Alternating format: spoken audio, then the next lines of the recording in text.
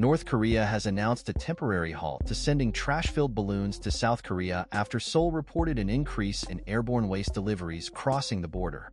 Vice Defense Minister Kim Kang-il stated that the country would cease dropping trash over the border, citing the balloons as a response to South Korea's practice of sending anti-North Korea leaflets. South Korea has vowed to take unendurable measures against North Korea for the recent trash balloon incidents. The South Korean military confirmed that no harmful substances were found in the hundreds of balloons that reached the country. Images released by authorities show debris scattered on the ground, with some containing burned-out cigarette butts. The two neighboring countries, still technically at war since 1953, have been dealing with escalating tensions due to the trash balloon issue.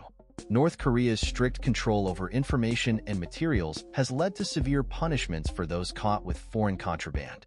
The recent trash balloon offensive is seen as a revival of Cold War-era tactics, with South Korea considering responding by playing K-pop music along the border.